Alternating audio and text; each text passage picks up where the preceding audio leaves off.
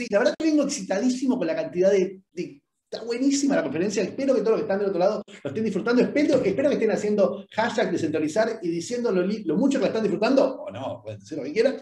¿sí? Pero gracias a todos los que están compartiendo ya en las redes. Gracias a todas las marcas que nos acompañan todo el tiempo. Y gracias a todos los speakers que están ahí dando vueltas, que están esperando para que yo deje de hablar. Así que bienvenido al próximo panel, que ya vamos a empezar a hablar justamente de las cosas que estaba hablando Camilo y un montón de estas cosas. ¿Qué es préstamo? ¿Qué es staking? ¿Qué bueno? De todo esto vamos a empezar a hablar en nuestras próximas charlas. Adelante, eh, Javier. Hola a todos. Bueno, es un placer estar acá, estar acá en Descentralizar. Soy Javier García Sánchez, profesor de finanzas del IAE. Eh, llevo unos años en el mundo cripto. Estuve participando en el diseño del proyecto de Money on Chain, el protocolo que dio origen al dólar on chain, al DOC y al BitPro, entre otras cosas. Y bueno, me ha tocado con mucho gusto moderar este panel sobre préstamos e inversiones eh, sin bancos. ¿no? ¿Es posible eliminar los bancos? Bueno, es una pregunta interesante. Quizás así como Internet transformó el mundo del comercio, desde cómo compramos una película hasta cómo llega la compra del supermercado, hoy nos preguntamos si la intermediación financiera va a cambiar, o más que si nos preguntamos, estamos viendo cómo está cambiando.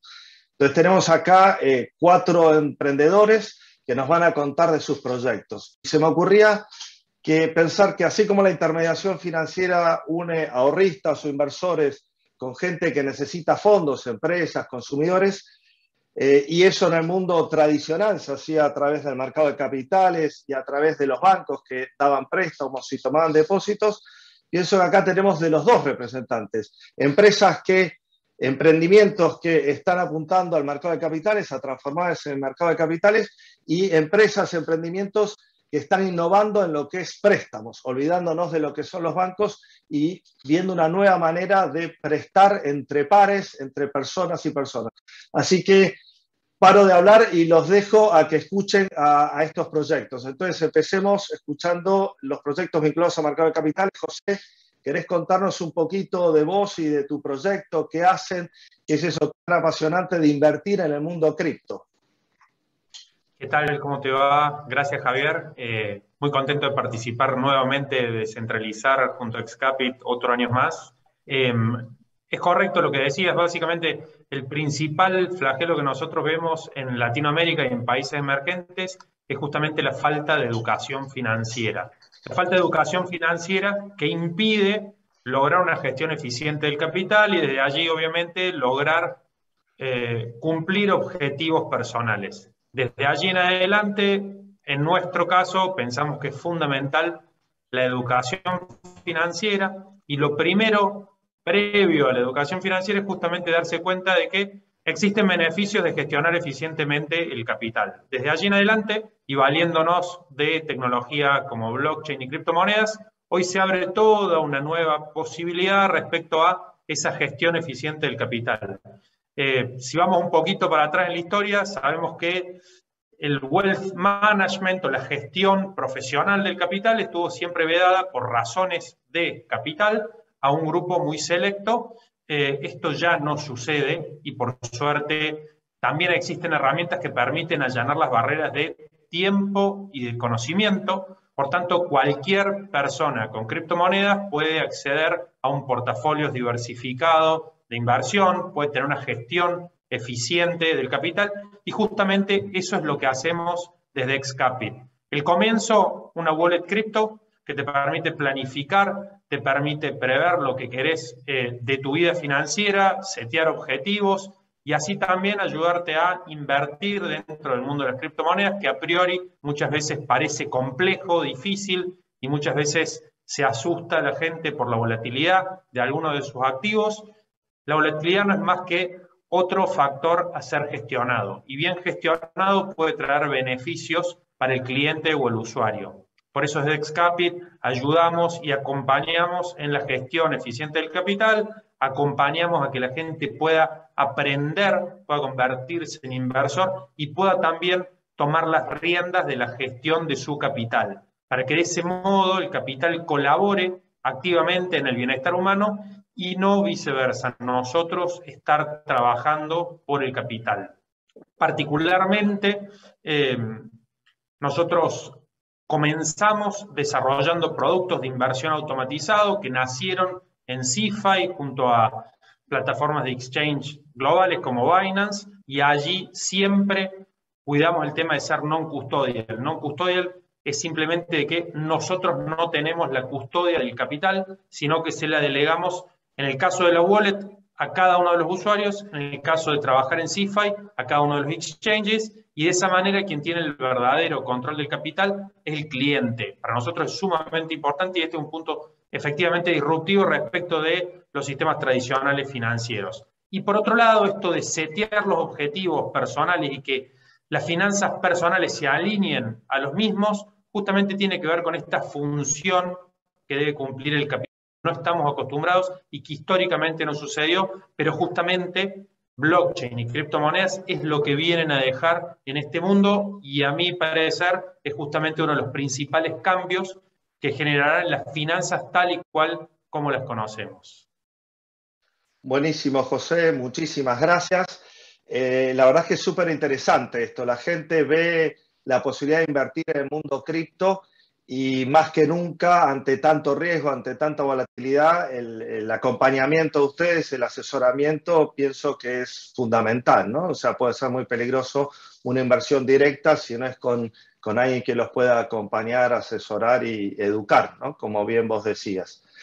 Bueno, vamos entonces ahora a escuchar el, proyecto de, de Iván, eh, de cripto que también se acerca desde este mundo hacia los mercados de capitales, también con una propuesta muy novedosa.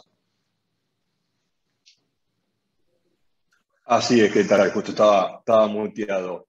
Eh, bueno, un placer estar acá. Mi nombre es Iván Telio de, de Crypto.la. De Crypto.la es una plataforma de intercambio de criptoactivos uno de los primeros en haber traído en Argentina y en haber propuesto a que sus usuarios puedan utilizar las primeras versiones de, staking, que eran principalmente CeFi, y estamos en la búsqueda también de poder avanzar hacia alternativas DeFi a, raíz del próximo lanzamiento de nuestra aplicación mobile. Eh, es claro que el camino eh, que buscan las criptomonedas es el de la transparencia y estamos convencidos de que el camino es el de DeFi. Eh, lo que nosotros hemos lanzado hace tres meses aproximadamente es tokens de acciones que corren bajo la blockchain de RSK. Lo que tenemos mediante una pata de un desarrollo, una de las partes de nuestra empresa, es la posibilidad de tokenizar acciones que cotizan en el mercado de valores tradicionales. Las que actualmente nosotros tenemos a disposición son, por ejemplo, Tesla, YOLO, Amazon, Google, entre otros tokens que hemos agregado recientemente. Estos son stablecoins, es decir, cada token emitido está vaqueado y certificado por una acción comprada genuinamente en el mercado. De esta manera, lo que le permite al usuario es tener por primera vez la genuina custodia de ese activo y la posibilidad de ser transferido libremente a otro usuario, familiar o amigo. Eh, cabe destacar que hasta el momento una persona que compra de repente una acción de Tesla no puede transferírselo a otra persona, sino que debiera de vender la acción y en todo caso volver a comprar, con lo cual a partir de esto los usuarios que utilizan este, estos tokens van a poder retirarlos, guardarlos bajo su custodia y transferirlos a otros usuarios.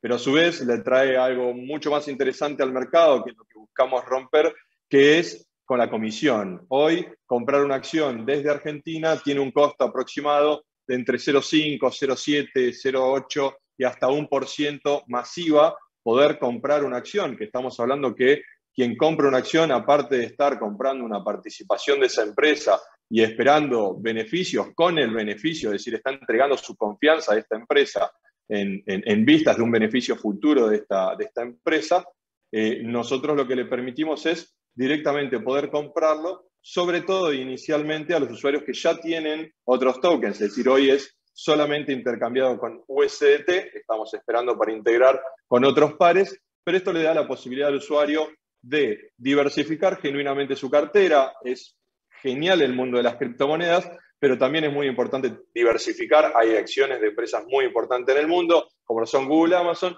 y el último beneficio, y con esto ya corto, es la posibilidad de comprar fraccionado. Para quien no sabe, una acción de Google o Amazon supera los 3 mil dólares y de esta manera un usuario podría comprar a un costo cero, sin tener costo de comisión para comprar o vender, una fracción de 0,0001 token, eh, pudiendo comprar fraccionado una acción que de repente para el inversor tradicional por ahí pueda ser inalcanzable, tal vez una acción de más de 3.000 o 3.500 dólares para un argentino sea difícil de adquirir. Así que nosotros, nuestra apuesta es a que esto empiece a manejarse en diferentes plataformas de intercambio descentralizadas y que esto vaya tomando riendas hacia un camino DeFi.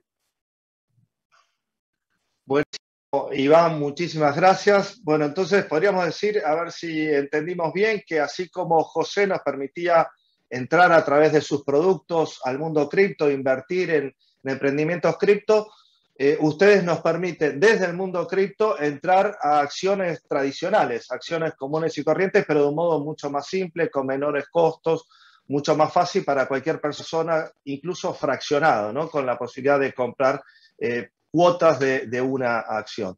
Bueno, fantástico. Y lo que aplica acá es que en algún momento se ha intercambiado libremente por plataformas DeFi, que eso le dé la posibilidad al usuario de operar justamente a lo que va la charla sin ningún banco ni intermediario. Pero para empezar uno necesita liquidez, entonces se necesita siempre de un actor central que pueda empezar a armar esa rueda que luego giren normalmente. Perfecto, buenísimo. Bueno, entonces nos dirigimos, después de este rodeo por el mercado de capitales, nos dirigimos al mundo de los préstamos ahora. ¿eh? Y podemos escucharlo a Dani, que nos cuente un poquito en qué consiste el sistema de ellos para facilitar los préstamos en el mundo cripto. ¿Qué tal? ¿Cómo están? Bueno, muchas gracias sobre todo por la invitación. Eh, bueno, yo les vengo a hablar de Hodl Hodl, mucha gente ya conoce la plataforma eh, de lo que es la parte de trading, que existe ya desde el año 2018, desde febrero de 2018. Eh, y ahora se lanzó este año, eh, a principios de, enero, la nueva plataforma de créditos, que sigue la misma idea de lo que hicimos con la plataforma de trading. La idea es básicamente que sea un mercado netamente peer-to-peer. O sea, en el caso de la plataforma de créditos, cualquier persona del mundo registrada en la plataforma puede otorgar un crédito a cualquier otra persona del mundo sin ninguna barrera, sin ninguna fricción. Esto se puede hacer eh, básicamente utilizando Bitcoin como colateral para cada crédito. Nosotros creemos que Bitcoin es hoy en día el colateral por excelencia. Es el colateral, eh, desde luego, eh, más líquido que se puede encontrar en este momento y por eso se decidió utilizarlo para respaldar todos los créditos que se otorguen. Eh, quiero dejar en claro que la plataforma en sí misma, Hodl Hodl, no actúa como proveedor del mercado. O sea, simplemente lo que hace es entregar las herramientas técnicas para que tanto el prestamista como el prestatario puedan operar, cerrar contratos en sus propios términos. Los mismos operadores deciden eh, la extensión de los créditos, eh, deciden la tasa, todas las variables que puede uno encontrar dentro de un contrato de, préstamo eh, son establecidas por los propios usuarios. Entonces, se genera acá algo nuevo que hasta ahora mm, no tenemos visto, por lo menos desde el lado de lo que era el mercado eh, financiero dentro del esquema bancario. Lo que logramos hacer es eh, establecer las reglas para que cualquier persona del mundo pueda otorgar un crédito a cualquier otra sin tener que presentar ningún tipo de aval financiero, ni siquiera tampoco tener que pasar por ningún proceso de KYC. ¿Mm? Eh, los usuarios de la plataforma HODL HODL se registran simplemente con su correo electrónico, eligen un, alias, un nickname, y ya están operando. No, tiene otra fricción. Eh, hay que dejar en claro, sí, que esta, tal cual eh, la plataforma de trading, esta plataforma de créditos, está basada principalmente en reputación, con lo cual es muy importante que con la persona con la que vayamos a operar veamos que cumple con los requerimientos mínimos de confianza que le otorgaron otros usuarios al haber realizado otras operaciones, en este caso, otros contratos de, préstamos. La idea es básicamente eh, liberar el mercado de créditos para que cualquier persona lo pueda utilizar sin necesidad de tener ningún respaldo eh, financiero establecido. Se otorgan créditos por el monto que sea y por hasta un año de plazo, pero no hay topes mínimos ni máximos. Eh, es, como un concepto bastante revolucionario en el mercado de préstamos y creemos que mucha gente va a estar interesada, por, sobre todo porque abre esta posibilidad de poder tomar créditos sin necesidad de estar haciendo tanto trámite burocrático y tanto proceso de verificación de identidad. Eso es como la fortaleza más grande que tiene la plataforma y en este momento estamos haciendo toda una renovación de, la parte de seguridad para que todos tengan justamente plena seguridad de que sus contratos van a estar a lo largo de todo el periodo sin ningún tipo de inconveniente. Estará disponible la plataforma ahora a partir del mes próximo, la primera semana de septiembre, arrancamos con la nueva apuesta para que cualquier persona del mundo la pueda utilizar eh, sin ninguna limitación. Buenísimo, Dani, muchísimas gracias. Entonces, los, los prestamistas, o sea, los que prestan el dinero, eh, tienen como garantía los BTC que dejan los que se llevan el dinero. Y además tiene un sistema como de reputación, por decir así, con la historia de los que fueron operando. Por supuesto. El, colateral siempre es Bitcoin y el préstamo se puede otorgar en cualquiera de las stablecoins más usadas, más conocidas, ¿no? USDT, USDC, todas las, las stablecoins que en el mercado se usan actualmente. E inclusive incorporamos ahora en el último mes la posibilidad de tomar créditos y otorgarlos, por supuesto, en LBTC, que es el Bitcoin montado sobre la red eh, Liquid. Fantástico. Bueno, muchísimas gracias. Bueno, vamos a escucharlo entonces a, Mauricio, el último panelista, eh, que nos va a contar del proyecto Tropicus, que también es un, proyecto vinculado a préstamos, a microcréditos en particular, que en este momento entiendo que están en, en la red de test y que breve pasarían a la mainnet, ¿correcto, Mauricio? Así es, Javier, un gusto saludarte, muchas gracias a los organizadores, un gusto estar aquí con, con Iván, con Dani, con José. Y efectivamente, Tropicus nace de una necesidad importante que hemos visto, eh, alrededor de lo injusto que son las tasas alrededor del el ahorro y el crédito en Latinoamérica. Lo hemos vivido nuestros co-founders, yo mismo lo he vivido alrededor de los préstamos que he tenido con, para mi maestría tuve que pagarlos dos veces y eso que lo pude pagar antes. Mi CTO lleva tres años tratando de sacar un préstamo para la casa y no ha podido eh, tener acceso, lo han negado sistemáticamente. Y realmente el acceso a servicios financieros en nuestra región es muy, muy limitado y nosotros pues lo vemos permanentemente y por eso hicimos nacer Trópicos. Pero no solamente eso, sino que también, no es solamente un problema, solamente un problema de acceso, sino también las tasas de interés. En Colombia, para que ustedes tengan un conocimiento, es legal por las instituciones financieras cobrar un 54% anual para microcréditos. En el promedio se encuentra en un 44%. Para otros tipos de créditos como de consumo y demás están alrededor del 25%, etc. Pero si queremos ahorrar, si queremos sacar un CDT, evidentemente si lo ponemos en cuenta ahorros no nos dan absolutamente nada. Pero si sacamos un CDT a un año nos dan el 2.25%. Es absolutamente injusto y esa es una de las razones por las cuales hemos creado eh, Tropicus, que es un protocolo de finanzas descentralizadas para prestar y pedir prestado para ahorro y crédito pero pensado hacia Latinoamérica, porque creemos que es necesario adaptar estas oportunidades que tenemos en el mundo DeFi y utilizar la moneda que nosotros creemos donde se van a, montar todos los servicios financieros, la moneda más importante que es Bitcoin y por eso también utilizamos la red de RSK y cualquiera, al igual que lo presentaba Dani, de manera descentralizada, sin necesidad de identidad, de una manera no custodia, protegiendo su privacidad, puede no solamente tener un rendimiento adicional de sus criptomonedas, ya sean Bitcoin o stablecoins, en comparación con lo que, y en mejores tasas comparadas con lo que hay en el mercado internacional, sino que también pueden pedir préstamos colateralizados, eso sí, también en stablecoins o en el mismo Bitcoin si quieren apalancarse, en unas tasas de interés muchísimo mejores de las que encontramos en la región latinoamericana. No quiero extenderme mucho, pero sí quiero es, a partir de esto invitarlos a, al Tropicus. ¿Por qué Tropicus? Porque en el Tropicus se encuentran la mayoría de los países en desarrollo que queremos atender, pero al mismo tiempo en el Tropicus es donde todos queremos vivir porque se vive muy bien. La invitación hace que disfrutemos del Tropicus. Buenísimo, Mauricio. Muchísimas gracias. Eh, espero que podamos pedir un crédito en tu plataforma para ir a visitarlos eh, al, trópico eh, en una buena temporada ahí al sol.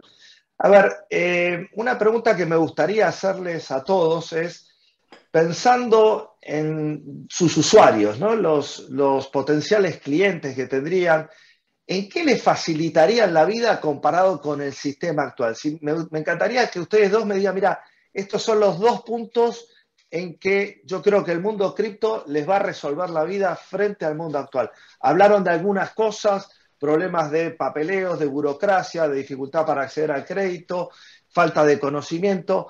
¿Dónde pondrían ustedes el foco? O sea, ¿por qué el mundo cripto va a dinamizar todo lo que sería la intermediación financiera? Para mí, justamente. Dale, Dani.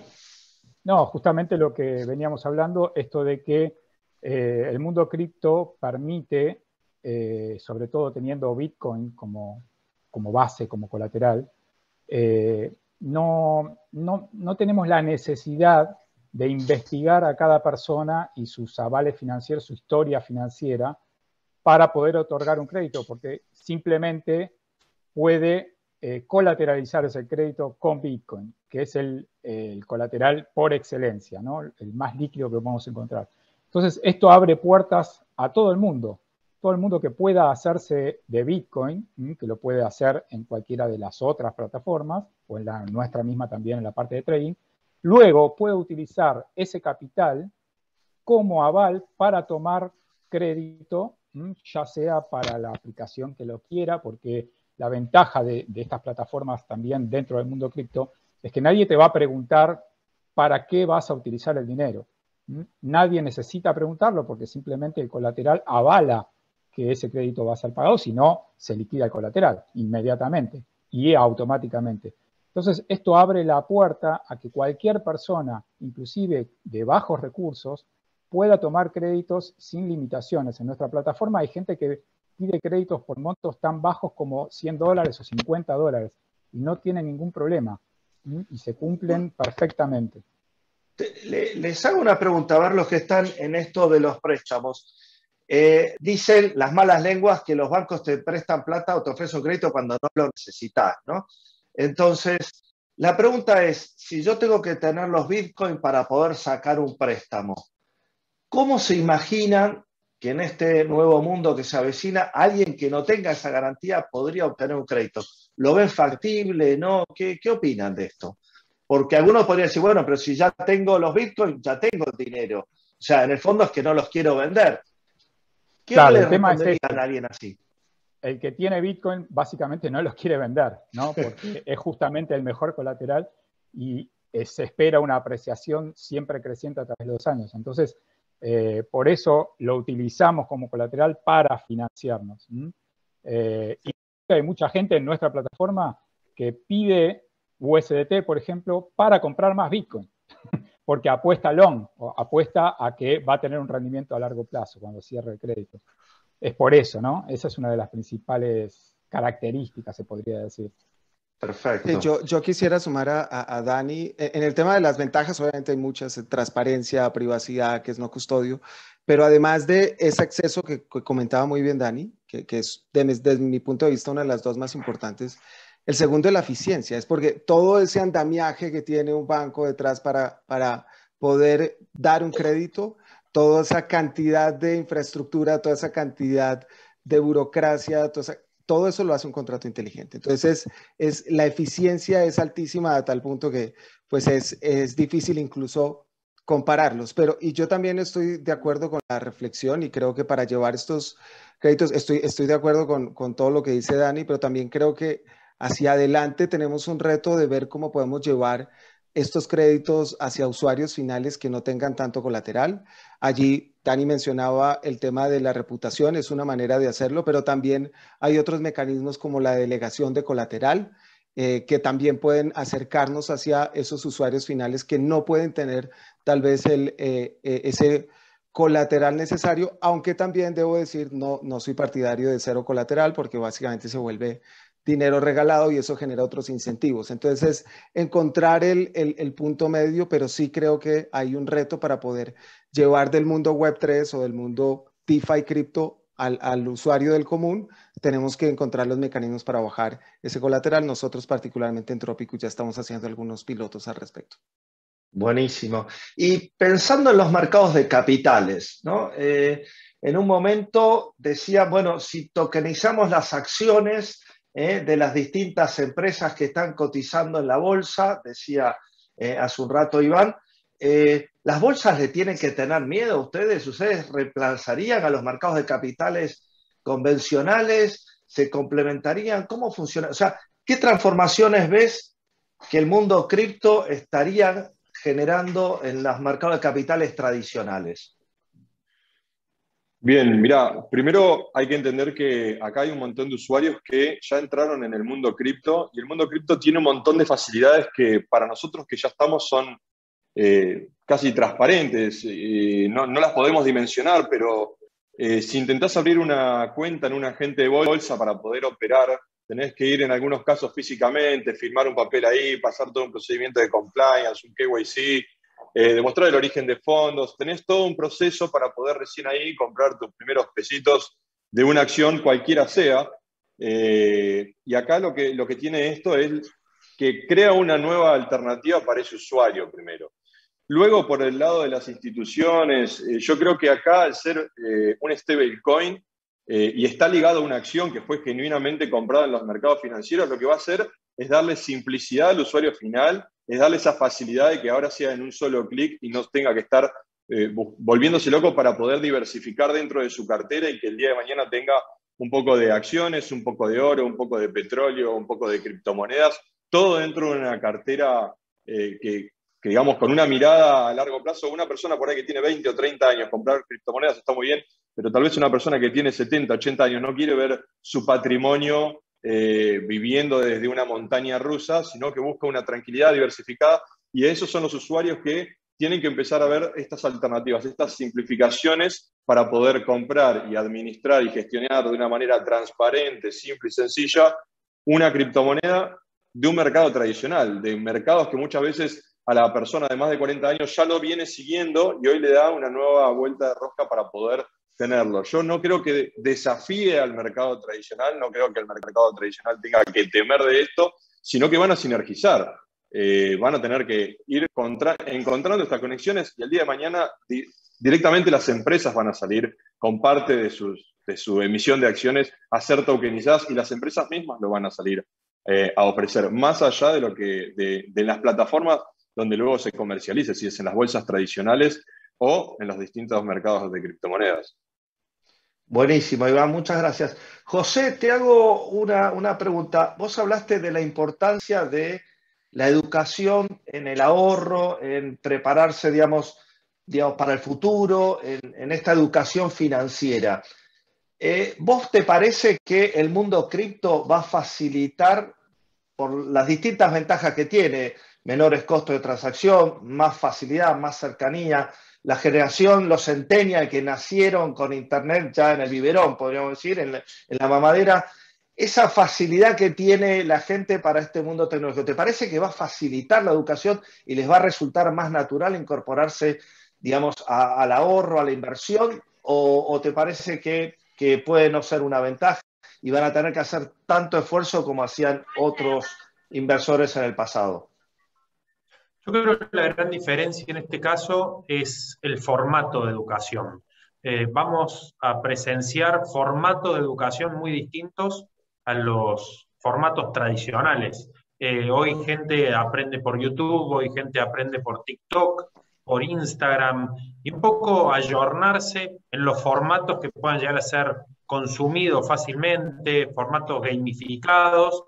Creo que es lo que permite eh, a la gente valerse de ese conocimiento y por a través de un acompañamiento que sea cómodo, fácil, se logra. El cripto es el vehículo, también hay que entenderlo como un vehículo. Y ese vehículo facilita. Eh, y nosotros siempre pensamos en una cartera diversificada que de acá a no mucho tiempo una persona pueda llegar a tener dentro de su wallet una obra de arte por a través de un NFT, pueda tener real estate por a través de un token que tenga allí un subyacente en inmuebles, pueda tener acciones, commodities, pueda tener cripto en sí, pueda tener Bitcoin. Y eso, históricamente, fue lo que estuvo vedado a una pequeña, muy pequeña parte de la población mundial. Y creo que esa es la gran disrupción. El hecho de poder tener una cartera diversificada, que se pueda gestionar de manera automatizada, que tenga relación y que tenga una actualización en función de los objetivos de la persona y no así en función de lo que una persona, ese operador de bolsa o ese agente de inversiones pueda llegar a hacer manualmente una vez cada mucho tiempo, o que en realidad no tiene tanto en cuenta eh, los objetivos personales, sino arma una cartera y la vende tantas veces como puede. Creo que ese es el cambio, algo más personalizado, eh, la oportunidad de no ceder la custodia, esto de nosotros vivimos, y esto pasa no solamente en Argentina, sino en países emergentes, la caída estrepitosa de entidades financieras, entidades bancarias completas que de un día para el otro se levantan y se van del país y con ello se va el capital de los ahorristas, de los inversores. Eso con blockchain y criptomonedas no pasa. Por eso creo que estamos no en moda, sino en un cambio cultural. Y eso es lo interesante también para dejar como mensaje de que hoy cripto no es simplemente una moda y es necesario empezar a incorporarlo. Por eso la educación va a acompañar la adopción y la adopción también va a tener distintos casos de uso que permitan que para cada una de las personas esto traiga beneficios. Fantástico, José. Bueno, la verdad es que el mundo que se nos avecina es apasionante, ¿no? Este, así que seguramente todos los que nos están escuchando están aumentando las ganas de meterse cada vez más en este mundo y seguir escuchando los paneles eh, que vienen detrás hasta el final de descentralizar. Muchísimas, muchísimas gracias, José. La verdad, eh, impresionante el, panel. uno queda realmente. No me pasa, yo hago muchas conferencias y no me pasa que las tengo que escuchar todas. Esta vez, por la forma que estamos organizados, me toca escucharlas y, disfruto horror lo que estoy escuchando. Así que me imagino lo mismo de los que están del otro lado. Muy interesante lo que cada uno cuenta. Eh, muchísimas gracias